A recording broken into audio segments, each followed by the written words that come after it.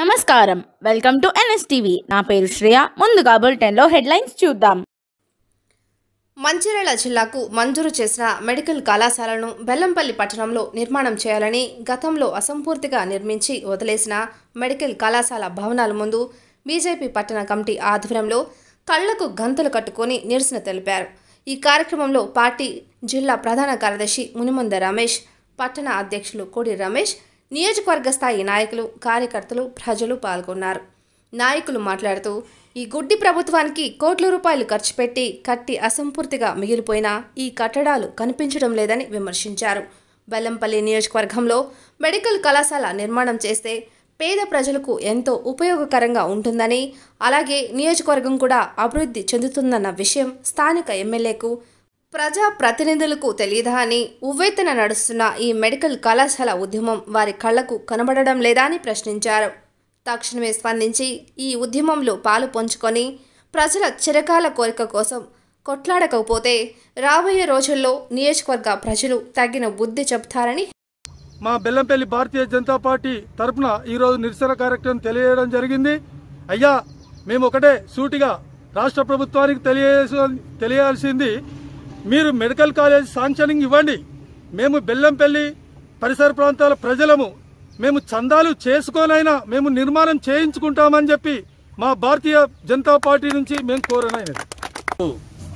Bharatiya Janata party ఆధ్వర్యంలో బెల్లంపల్లిలో కళ్ళకు గంతలు కట్టుకొని అసంపూర్తిగా మిగిలినటువంటి మెడికల్ కళాశాల ముందు నిరసన కార్యక్రమం తెలపడం జరిగింది.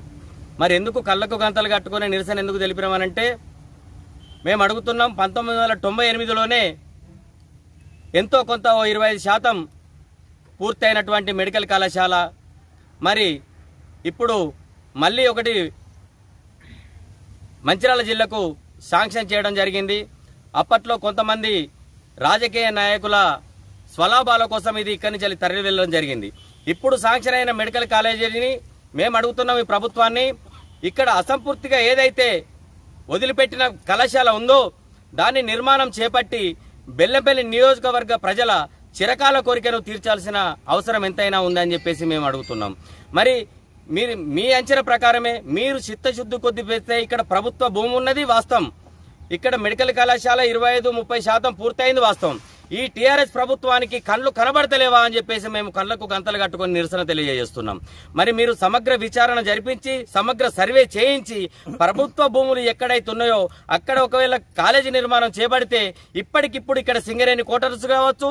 మరి ఇక్కడ చూస్తే మూడు వందల పడకల గది హాస్పిటల్ కూడా ఉన్నాయి. మీరు ఇప్పటికిప్పటికీ క్షణాల పాటు ఇక్కడ మెడికల్ కాలేజీని ఏర్పాటు చేస్తే తక్షణమే అన్ని ఏర్పాట్లతో అంగురంగులతో వైభవంగా ఇక్కడ నిర్మాణం చేపట్టుకొని వసతులు ఉన్నాయని చెప్పేసి భారతీయ జనతా పార్టీని తలుపున మేము తెలియజేస్తున్నాం. చిత్తశుద్ధి ఉంటే ఈ టీఆర్ఎస్ ప్రభుత్వం ఆ కళ్ళకు కట్టినటువంటి గంతలను వదిలిపెట్టి మీరు చూస్తే గనక కనబడుతుందని చెప్పేసి తెలియజేస్తున్నాం. మాకు ప్రభుత్వ భూమి ఉన్నది అని చెప్పడానికి కూడా భయం అవుతుంది ఇప్పుడు. ఎందుకంటే ఈ టీఆర్ఎస్ ప్రభుత్వం కొత్త పుంతలు దొక్కుతుంది. ప్రభుత్వ భూములు అమ్ముకునే దిశగా ప్రయాణం చేస్తుంది.